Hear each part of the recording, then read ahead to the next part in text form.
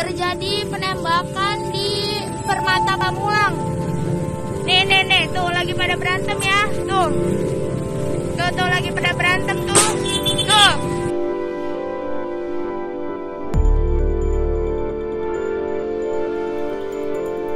Macet banget, lagi pada macet.